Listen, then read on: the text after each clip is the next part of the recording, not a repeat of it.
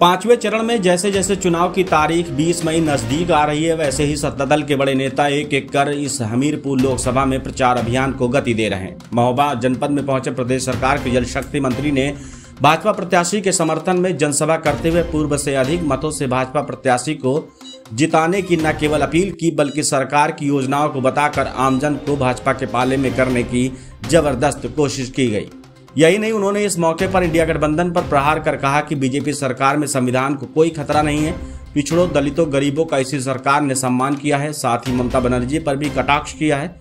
तो वहीं 400 पार में यूपी की 80 सीटें जीतने का दावा भी प्रदेश के जल शक्ति मंत्री ने किया है।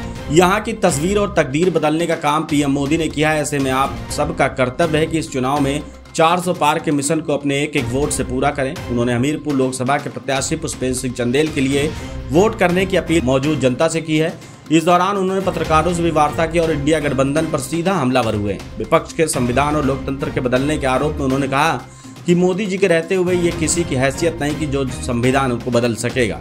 जबकि मोदी जी के आने के बाद से ही पिछड़ों को 27 फ़ीसदी आरक्षण मेडिकल कॉलेज और विश्वविद्यालय में दिया गया। यही नहीं, आज़ादी के बाद से पिछड़ों को मंत्रिमंडल में सबसे अधिक मौका पीएम मोदी ने दिया है।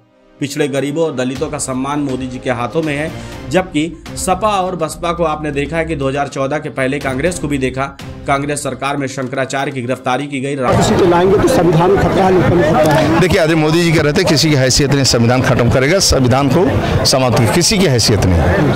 और आदि मोदी जी के आने के बाद पिछड़ों को 27 प्रतिशत आरक्षण मेडिकल में केंद्रीय विश्वविद्यालय और केंद्रीय मेडिकल में स्थान दिलवाने का किसी ने काम किया तो आदि मोदी जी ने किया।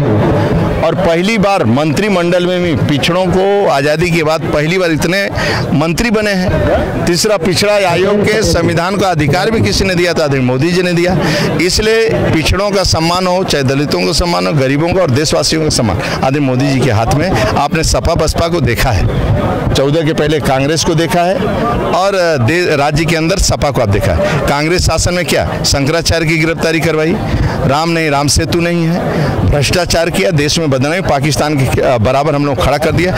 आज कम से मोदी जी के नेतृत्व में सभी गरीबों का अपना पक्का मकान है। बैंक का अकाउंट है, आवास है, सब कुछ है। आयुष्मान का कार्ड है, सभी लोगों का है।